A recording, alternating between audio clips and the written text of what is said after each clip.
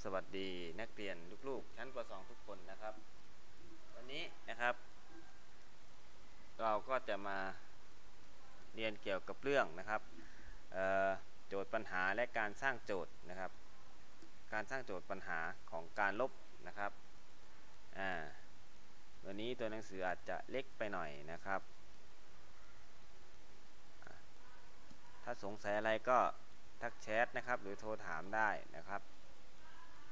วันนี้นะครับ โจทย์ปัญหาการลบนะครับ ให้นักเรียนนะครับนำหนังสือแบบฝึกหัดนะครับมาแล้วเปิดไปที่หน้า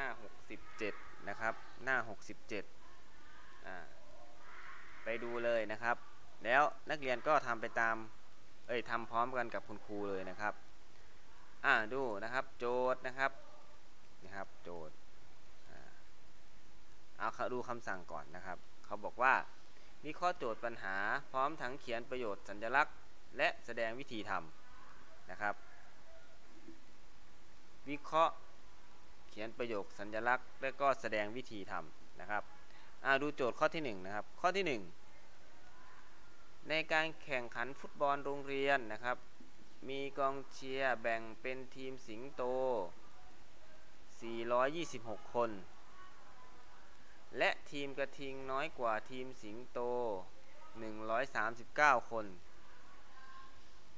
ให้หาว่า 1. มีกองเชียร์ทีมกระทิงกี่คนนะครับ 2. ถ้ากองเชียร์ของทีมกระทิงเป็นนักเรียนชายนะครับ178 คนที่เหลือเป็นนักเรียนหญิง ทีมกองเชียร์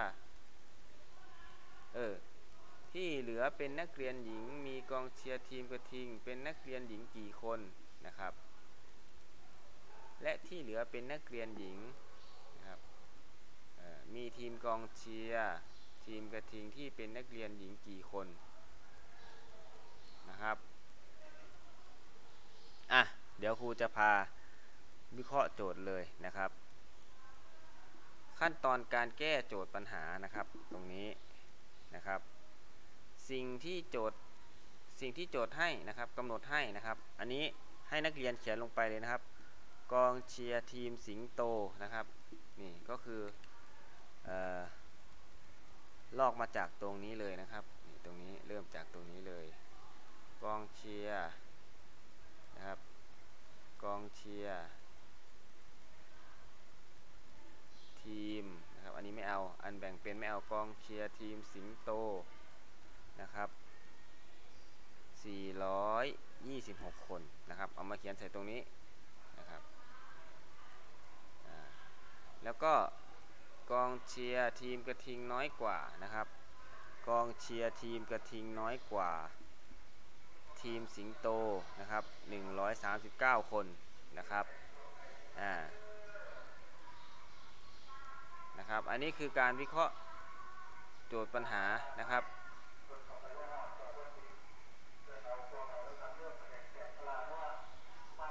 แล้วก็สิ่งที่โจทย์ถามนะครับ มีกองเชียร์ทีมกระทิงกี่คนนะครับ เราจะเอาแค่ตรงนี้ก่อนนะครับ ตรงนี้มีกองเชียร์ทีมกระทิงกี่คนนะครับ ก็เอามาเขียนใส่ในสิ่งที่ โจทย์ถามนะครับอ่าโอเค ต่อไปมาวางแผนนะครับ วางแผนกัน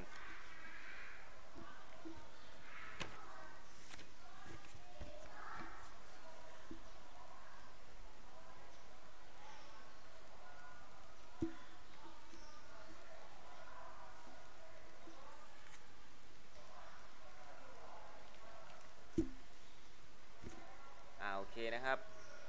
เรามาวางแผนกันนะครับ เดี๋ยวขยายให้มันใหญ่นิดนึง โอเคอกองเชียร์นะครับ เราก็เขียนมาเลยกองเชียร์ทีมสิงโตเท่าไหร่ 426 คน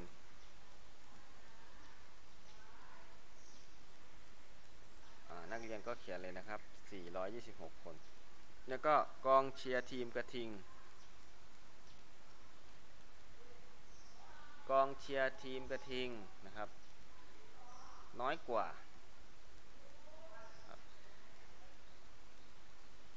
น้อยกว่า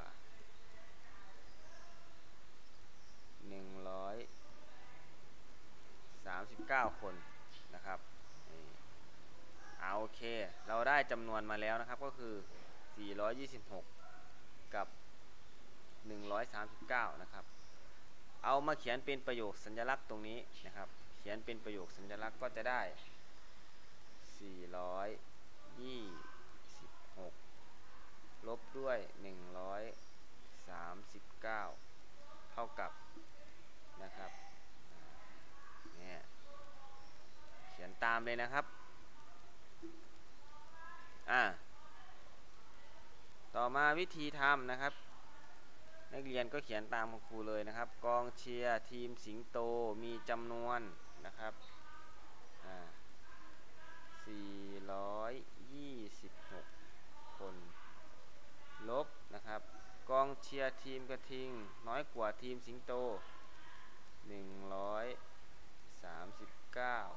นะครับอ่าลบกันนะครับ 6 ลบ 9 ไม่ได้นะครับ เพราะว่า 6 มีจำนวนน้อยกว่า ก็ไปยืมมานะครับ จาก 2 เหลือ 1 นะครับ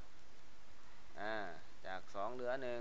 1 จาก 6 เป็น 16 นะครับ ก็เหมือนเดิมนะครับ เอาตัวเลขด้านล่างไว้ในใจนะครับ 6 แล้วเอ้ย9นะครับ แล้วก็นับไปถึง 16 นะครับ 9 10 11 12 13 14 15 16 นะครับ เหลือ 7 นะครับ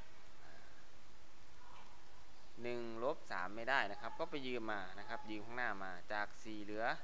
3 นะครับ อันนี้จาก 1 เพิ่มมา 1 เป็น 11นะครับ11 นะครับ ตรงนี้เล็กๆ 11 นะครับเอาลบได้แล้วนะครับ11ลบ3เอา3ไว้ในใจนับไปถึง 11 นะครับ 3 4 5 6 7 8 9 10 11 นะครับ อ่า เหลือ 8 นะครับ อ่าสามลบหนึ่งนะครับ อันนี้ลบได้นะครับสามลบหนึ่งเหลือสองนะครับคำตอบก็คือกองเชียร์ทีมกระทิงมี 287 คนนะครับ โอเคนะครับ แล้วการตรวจนะครับ การตรวจสอบเหตุเอ้ยสมเหตุสมผลของคำตอบนะครับ ก็เขียนง่ายๆเลยนะครับ เขียนง่ายๆเลยนะครับ ดังนั้นนะครับ287 จึงเป็นคำตอบที่สมเหตุสมผลนะครับ อ่า โอเคนะครับ อันนี้เสร็จไปสำหรับข้อที่1นงนะครับ การวิเคราะห์ปัญหานะครับ หน้าที่ 67 นะครับ การบ้านวันนี้นะครับ ให้นักเรียนทำหน้าที่ 68 นะครับ68 หน้าเดียวนะครับ แล้วก็ส่งนะครับ 68 หน้าเดียวแล้วก็ส่งเนาะใครมีอะไรสงสัยนะครับ ทักแชทนะครับ หรือโทรถามในห้องแชท Facebook ได้นะครับ หรือจะเป็นไลน์ส่วนตัวก็ได้นะครับสำหรับวันนี้ก็ขอขอบใจและสวัสดีลูกๆทุกคนครับ สวัสดีครับ